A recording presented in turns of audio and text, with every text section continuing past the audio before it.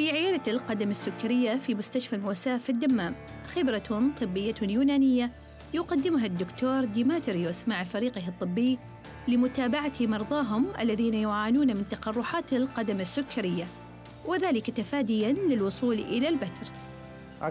يمثل مرض السكري بكل تعقيداته مشكلة صحية عالمية. مئات الملايين من الأشخاص يعانون السكري والمملكة العربية السعودية تواجه مشكلة حقيقية مع هذا المرض حيث تشكل نسبة الإصابة فيها 25% وهي النسبة الأعلى في العالم. مرض السكري لا تكمن مشكلته في ارتفاع نسبة السكر بل في المضاعفات والتعقيدات التي تخلفها الحالة المرضية. فالسكري هو السبب الأول في الإصابة بالعمى وبالفشل الكلوي ويأتي على درجة كبيرة من الخطورة يماثل أمراض القلب خصوصا إذا ما علمنا أن 60 إلى 70% من مرضى السكري يتعرضون إلى الوفاة بسبب مشاكل في القلب 60 to 70% of uh, the people that suffering from diabetes were to die from uh, cardiovascular disease. يفقد المريض المصاب بداء السكري الإحساس بقدميه نتيجة اعتلال الأعصاب لذلك لا يشعر بالألم عند تعرض قدميه لأي إصابة مما يؤدي إلى تفاقم المشكلة إذ لم يتم علاجها سريعاً.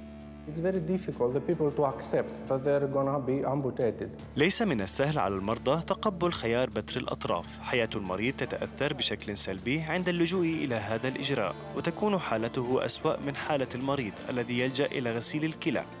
كما أن نسبة الوفيات ترتفع بين المرضى المعرضين لبتر أحد الأطراف السفلية. تشير دراسات إلى أن نحو 60% من المرضى مبتوري الأطراف معرضون للوفاة خلال السنوات الخمس التي تعقب البتر. هذه الأرقام مخيفة جدا وهي أسوأ من إصابات سرطان البروستات وسرطان الثدي.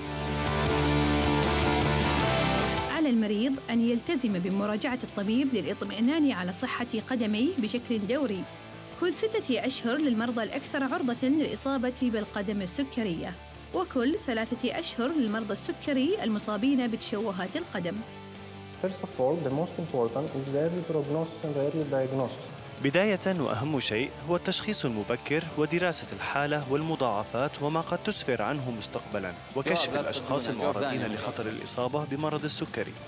بالنسبة لمرضاي فإنني أخضعهم لعلاج حالة اعتلال النهايات العصبية والأوعية الدموية. كونها السبب الرئيس للإصابة بقرحة القدم السكرية.